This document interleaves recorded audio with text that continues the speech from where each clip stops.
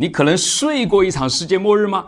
六千六百万年前呢，一颗小行星以巨大能量撞击了地球，导致了恐龙灭绝。你也许会认为这场大灾难是不可能被睡过去的，但一项研究表明啊，长时间冬眠的能力居然可能是白垩纪末期哺乳动物祖先免于灭绝的原因。那场将墨西哥尤卡坦半岛撞出全世界最大陨石坑的灾难，使地球被全球性的大火吞没了一年甚至更久。对于生物来说呢，这段避难时间可谓是相当之长啊，除非是钻到了地下。可是这这些动物能够在地下待这么长时间不出来透口气吗？答案是可以的，只要是它们在冬眠就行。我们知道熊可以靠冬眠熬过冬季，但是兔子大小的马达加斯加哺乳动物马岛尾也能够冬眠。研究人员给二十四只马岛尾戴上了记录体温的仪器，然后把它们放回野外。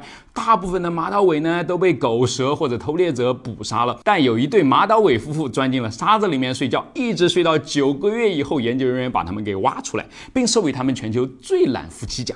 这项研究结果揭示出啊，有时候度过危机的最好办法呢，就是放松一点，打个长时间的盹呐。很可惜，要是恐龙会冬眠的话，我们现在不用 3D 技术就能够看到它们了。不过，你真的希望看到它们吗？